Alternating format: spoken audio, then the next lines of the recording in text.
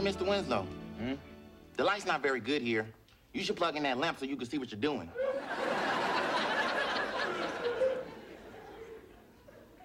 The lamp is broken. I'm trying to fix it. Well, if it's unplugged, how will you know when it's fixed?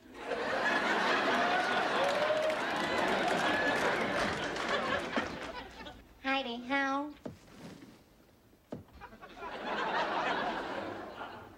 Can I come in, Carl?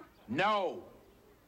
Well, I'm just hoping we can mend our fences and bury the hatchet, let bygones be bygones. No way. Forget it. Fat chance. Look before you leap. It takes one to know one, and we do chicken right. Your turn, Eddie.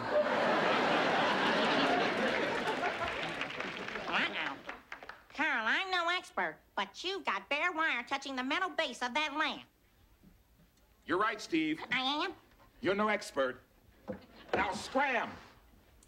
All right, I'll go. Ta-da! Good job, Dad.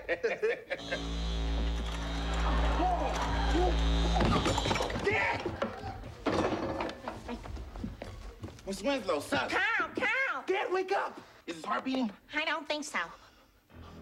Oh, my God, Steve, I don't think he's breathing. All right, he's not breathing, and he doesn't have a pulse. Edo, call 911.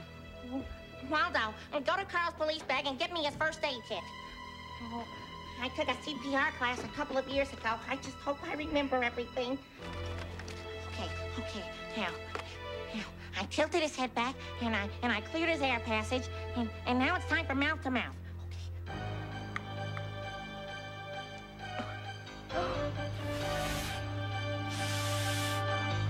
Okay. Now we have to try and make his heart beat. Heartbeat. Oh, oh. One, two, three, four, five, six, seven, eight, nine, ten, eleven, twelve, thirty-one, fifty. The ambulance is on its way. How's he doing? Check for a pulse. Oh, nothing, Steve. He's still not breathing. Carl, please, we're getting worried. Come back to us, okay? Please, Dad. Please, big, big guy, big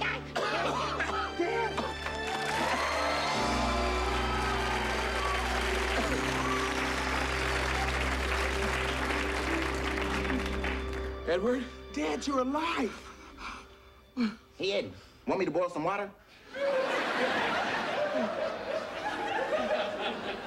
Waldo, that's for babies. Oh, like making a phone call so macho. What happened? Why am I on the floor? Easy, Dad. You got a bad shock from that lamp and you stopped breathing. I did? Yeah, and Steve gave you CPR. He did? Steve Urkel saved my life? Well, I don't know about that. I mean, Yes, you did. Face it, dude, if you hadn't given no CPR, he would have died. You're a hero. well, gosh, I guess I am. Yeah.